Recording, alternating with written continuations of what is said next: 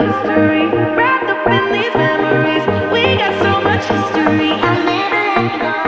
qué les quiero hablar hoy? Les quiero hablar de cumplir nuestros acuerdos. ¿Por qué es tan importante cumplir tus acuerdos? Primero, por el valor de tu palabra. Segundo, porque habla del compromiso que tenés vos, de quién sos.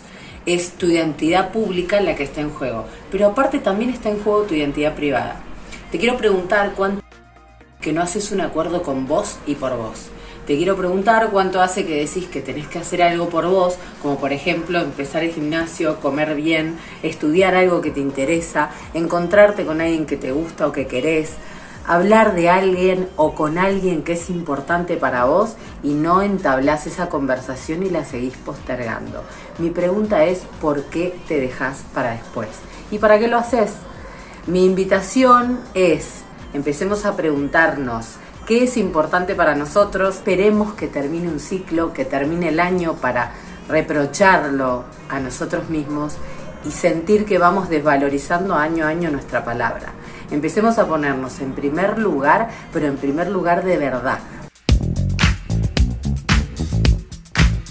Basta de patearnos y decir más sí.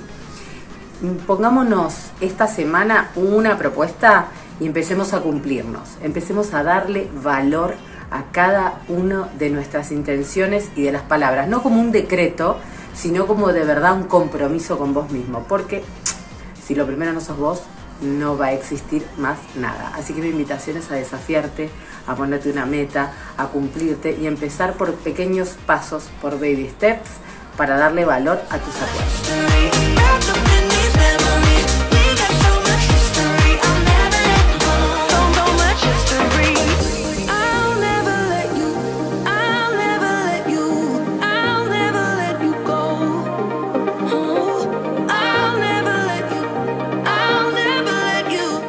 Te invito a encontrar muchos más desafíos como este que te invito esta semana en Librería Homo Sapiens Coaching After Office, mi libro, y también a repensar si uno de los compromisos que querés con vos no puede ser empezar a estudiar algo que tenga que ver con redescubrirte, con transformar tu vida y potenciarla.